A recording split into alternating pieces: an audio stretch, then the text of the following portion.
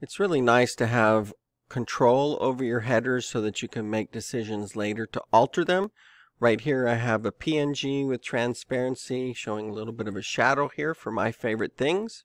If I change this to not just a title only to a clean white background and I want to have a banner on there, I can have a picture that I've exported that's just a background. And being able to change that um, after the fact is a pretty powerful thing to be able to do. And being able to see that background in between and through the letters. This is just a matter of saying change image. And if you've got some of your backgrounds exported, you can see what it's going to look like. And that white glow that I've carefully put around my letters wasn't even visible on a white background.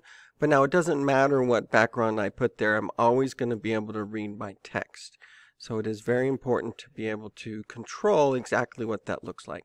Now look at the legibility here. This is what we need to have so that people can really read what it is that you've put on there. I'm seeing a lot of doubled shadows that are really, really sharp, so it just looks like two copies of the same thing. Makes my eyes go cross-eyed.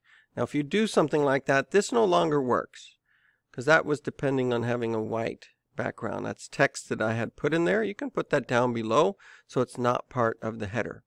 When you double click on the image that is in your header, you can adjust it. So if you upload your picture and it's cut off like that, just double click inside and you can adjust just what's visible in the little window there.